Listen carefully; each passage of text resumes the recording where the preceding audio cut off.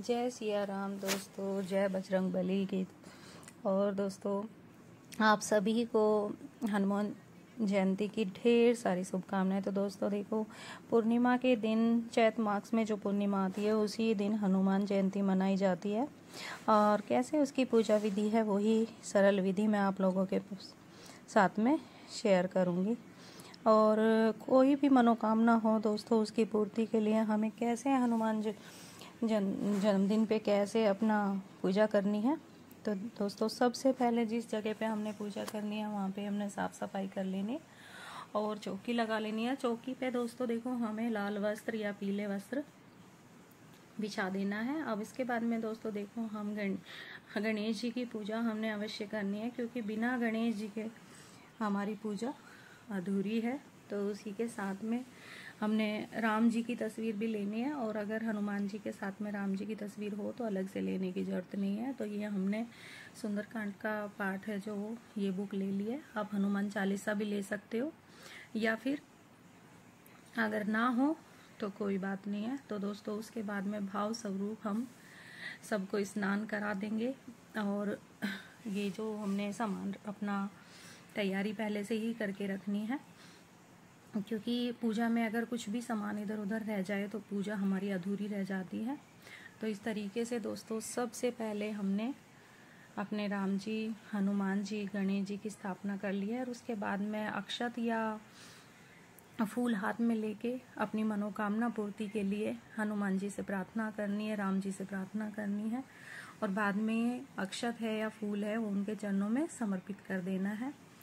और बिल्कुल सरल विधि दोस्तों मैं आप लोगों के साथ में शेयर करूँगी। अब दोस्तों, उसके बाद में हमें देसी घी का दिया प्रज्वलित कर लेना है। और अगर देसी घी का ना हो तो आप चमेली का तेल या फिर तिल्ली का तेल से भी दीपक प्रज्वलित कर सकते हो। अब उसके बाद में दोस्तों, हम लोग वस्त्र स्वरूप कलावा समर्पित करेंगे। तो जो सुंदरकांड की हमने बुक रखी है, उसको भी हम वस्त्र स्वरूप कलावा समर्पित करेंगे। गणेश जी को भी और हनुमान जी को भी। और अगर दोस्तों जनेऊ हो तो जनेऊ हमें अवश्य समर्पित करना है। और अगर जनेऊ ना हो तो कोई बात नहीं, आप वस्त्र स्वरूप, कलावा भी समर्पित कर सकते हो। और अगर चोला समर्पित कर रहे हो तो अपने घर के किसी भी बेटे से या फिर अपने हस्बैंड से आप चोला समर्पित कराए, क्योंकि चोला कहते हैं कि लेडीज़ें समर्पित नहीं करती है। और तिलक लेडीज़ लगा सकती है तो कोई वो नहीं है। पीले का जो चंदन, जो पीले वाला जो तिलक आता है वही हमारे हनुमान जी को चढ़ता है तो वही हम समर्पित करेंगे, और हमने सबको तिलक समर्पित कर दिया है। अब इसके बाद में दोस्तों, हमने फूल समर्पित कर देना है। तो अगर फूल मिल जाए तो बहुत अच्छी बात है, नहीं मिले तो कोई बात नहीं। और अगर हो तो फूल समर्पित करना अवश्य है दोस्तों। तो इस तरीके से हमने फूल समर्पित कर दिया है। और अब आप देखिए, कुछ भी भोग में ले सकते हैं और भोग में हमारे हनुमान जी को गुड़ चने, चना और मलिदा जो बोलते हैं, चूरमा बोलते हैं, चूरमा बहुत ही प्रिय है। और इनकी पूजा कोई भी हो हनुमान जी की तो हमें चूरमा ज़रूर बनाना चाहिए। तो ये हम हनुमान जी को अपना चूरमे से का भोग लगाएँगे। और कोई भी ऋतु फल हो।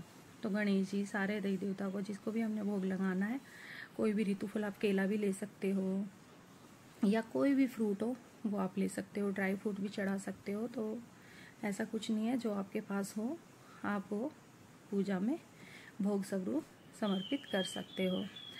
अब भाव रूप से दोस्तों देखो, जो भी आप करो, वो हमारी पूजा, हमारे बजरंग बली श्री राम अवश्य पूरी करते हैं। तो दोस्तों, अब हाथ में फूल लेके और या चंद अक्षत लेके आप सुंदरकांड का पाठ करना चाहते हो तो सुंदरकांड का पाठ करिए।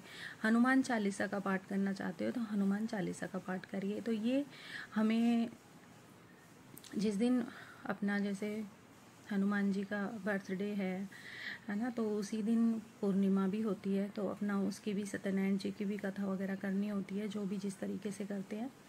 और हमें सुंदरकांड का या हनुमान चालीसा का पाठ अवश्य करना होता है। तो बस फिर उसके बाद में हमने सबसे पहले फिर गणेश जी की आरती करनी है, फिर अपने हनुमान जी की आरती करनी है। और हाथ जोड़ के पूजा में कोई भी कमी रही हो, उसके लिए प्रार्थना करनी है कि क्षमा करे उसे। अब हम दो बार ही अपना जलवार देंगे। जो भी हमने दिया किया है, उसके ऊपर से दो बार ही हमने जल बार देना है। और पूजा में हमने दक्षिणा अवश्य रखनी है दोस्तों, क्योंकि दक्षिणा से जो भी हमारे पूजा में कमी रहती है ना, उसकी पूर्ति के लिए हमने दक्षिणा अवश्य रखनी है। और बाद में दोस्तों देखो, जल का लोटा जो हमें सूर्य भगवान को चढ़ा देना है। दक्षिणा हम किसी भी घर में किसी में बच्चे को दे देना है। तो इस तरीके से हमने पूजा संपन्न की है।